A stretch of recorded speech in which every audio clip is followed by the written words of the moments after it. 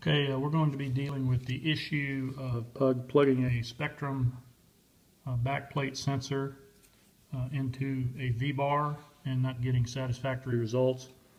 Um, if you use the sensor port on the V-bar, uh, which would be the lower of the two sets of three, you'll want the uh, ground wire toward the outside, as you can see like that. Uh, when you plug it into the V-bar, this port uh, on the V-bar provides, I think, something on the order of like 3.2 volts, something of that nature. Uh, and there, therein lies the problem.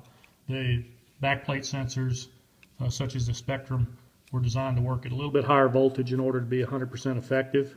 So what we're going to need to do is uh, instead of extracting uh, the voltage from this side of the V-bar, we need to extract, extract it from the other side of the V-bar, the, the normal system bus where you would be plugging in all the servos.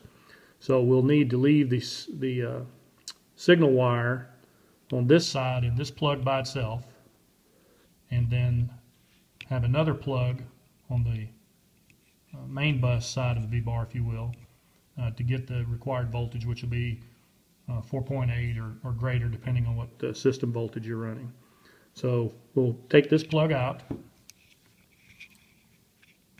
unplug it, and what we'll do, just to, so we only transfer one instead of two, I'm going to take an extra plug uh, that I procured uh, from a cable I no longer require. And we're going to take out the system plug.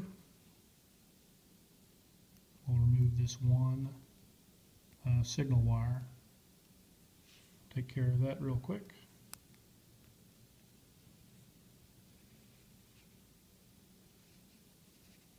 There we go.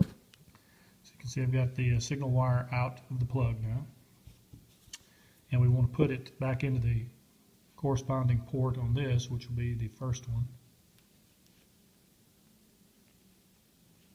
It should snap in. And it did. You can see now you've ended up with this. Okay. Now what we'll need to do is split this a little bit, like so. Give us just the gap we need. We're going to uh, plug the sensor wire,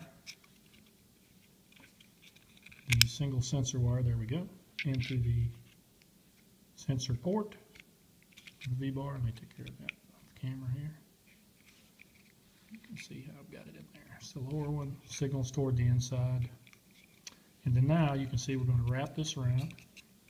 And of course you'll have your servos, um, your four servos plugged in, possibly depending on your installation throttle servo, etc.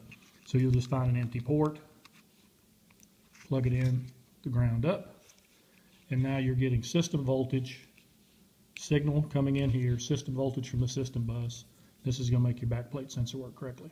So hope this helps. If anybody's having any issues, I don't claim uh, any credit on this. I actually believe uh, Mr. Mel or somebody did a video on this before because I have seen it somewhere. But uh, that should take care of your sensor problems. It helps with the Align magnets as well uh, the align pickup when you're using magnets. Um, if you're not getting satisfactory results, you can try this. A little bit extra juice uh, seems to make these uh, sensors work better. So hope this helps. Have a good one. Bye.